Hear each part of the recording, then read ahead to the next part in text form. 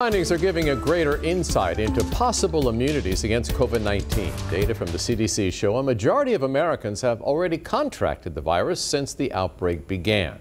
Alex Littlehales walks through the new research and explains what it means if you've already been infected. Mixed trends is how Dr. Rochelle Walensky describes the current state of the COVID 19 pandemic. They are slowly trending upwards. Death rates nationally may be down, according to the Centers for Disease Control, but hospitalizations and cases are slowly on the rise. Cases, too, has represented an increase of about 25%.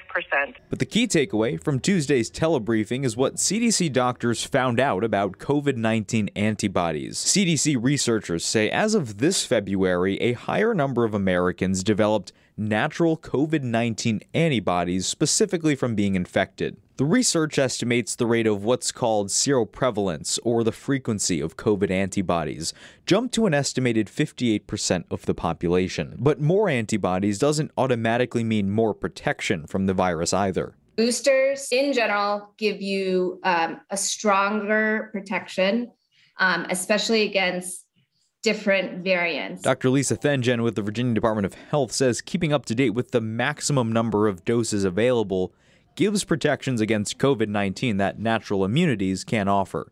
An even newer variant known as BA2 121 is believed to have an even higher transmission rate, about 25% higher compared to previous Omicron variants. In Norfolk, I'm Alex Littlehales for 13 News Now.